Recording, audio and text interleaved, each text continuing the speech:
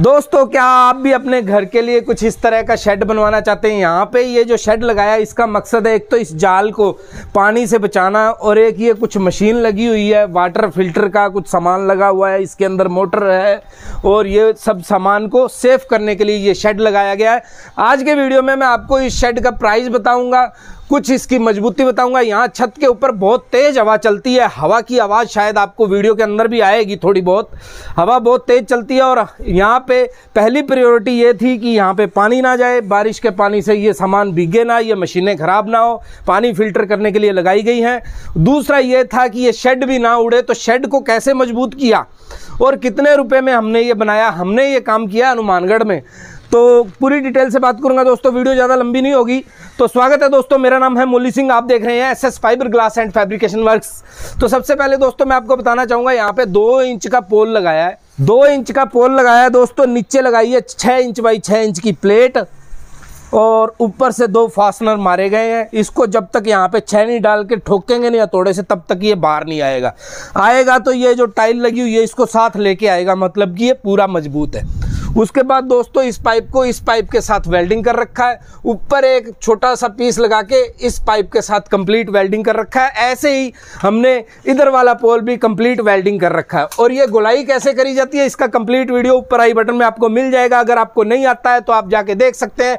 ये पाइप के अंदर कट मार मार के ये वाली गुलाई होती है दोस्तों। ये कैसे करनी है, कितने कट मारने हैं, कितनी गुलाई आएगी, इसका कंप्लीट वीडियो आपको आई बटन में मिल जाएगा। यहाँ से आपको दिखाना चाहूँगा ये देखें ये एक होल मारा था ऊपर से ऊपर से और जाके दिखाता हूँ मजबूती का सीन सामने की साइड में तो दो पोल ही हैं और ऊपर से और दिखाता हूँ ऊपर क्या काम किया हमने मजबूती के लिए तो उसके लिए हमें ऊपर जाना पड़ेगा। दोस्तों वीडियो पसंद आ रहा है तो वीडियो को लाइक करें और चैनल को सब्सक्राइब करें और साथ ही साथ घंटे का बटन ज़रूर दबाएँ। तो दोस्तों यहाँ पे आप देख सकते हैं यहाँ पे एक फासनर लगाया है। जूम करके देखेंगे तो पता चलेगा।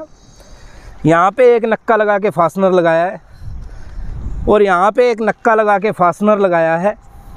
यहाँ पे फिर एक नक्का लगा के फासनर लगाया है और एंड में फिर से एक नक्का लगा के फासनर लगाया है। ऊपर टोटल स्क्रू मारे हैं। मतलब कि सेंटर में एक प्लस के निशान के ऊपर एक, बीच में एक और फिर से प्लस आया तो वहाँ पे एक।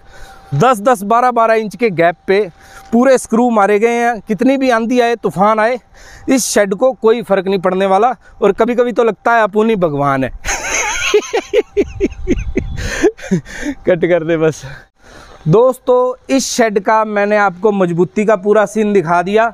तो अब आगे बात करेंगे प्राइस की। तो प्राइस जानने के लिए सबसे पहले आपको साइज़ जानना ज़रूरी है। 20 फीट लंबाई है दोस्तों और 10 फीट चौड़ाई है। दस बाई बीस। वैसे ये ऊपर का जो साइज़ है, ये अठारह फिट है।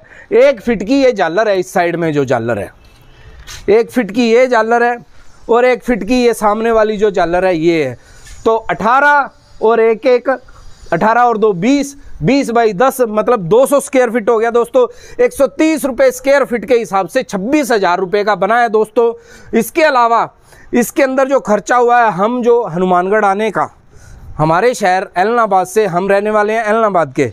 तो हमारे शहर एलनाबाद से हनुमानगढ़ तक 50 किलोमीटर आने का हम हज़ार रुपया लेते हैं एक्स्ट्रा वन थाउज़ेंड रुपीज़ हमारे काम के रेट से अलावा अलग से है। उसके अलावा पंद्रह सौ रुपये गाड़ी का भाड़ा लगा है, जिसमें ये फाइबर शीट और ये फ्रेम एलनाबाद से हम बना के लाए थे। तो कुल मिला के पंद्रह सौ और हज़ार पच्चीस सौ रुपये और छब्बीस हज़ार रुपये का ये अट्ठाईस हज़ार पाँच सौ रुपये में कंप्लीट रेडी हुआ है दोस्तों। इसके अलावा इसमें कोई भी खर्चा नहीं है, इसमें कंप्लीट चार्जेस आ गए हैं।